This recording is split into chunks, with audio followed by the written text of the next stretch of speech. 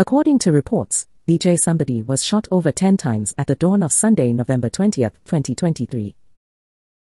Reliable sources said that he left the news cafe in Woodmead on his way to a performance. Most people aren't aware that DJ Sumbody was also a taxi owner, so it's possible that this was a hit because of the way the taxi business operates. Just by looking at the car, you can tell that they wanted him dead.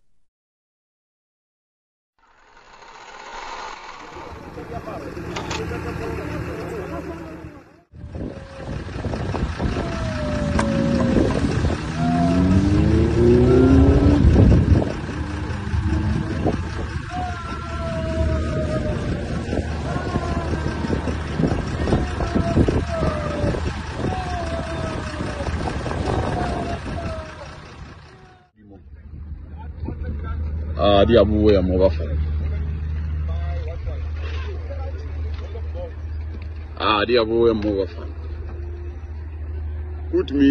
We are grateful that DJ Sumbody shared his talents with us.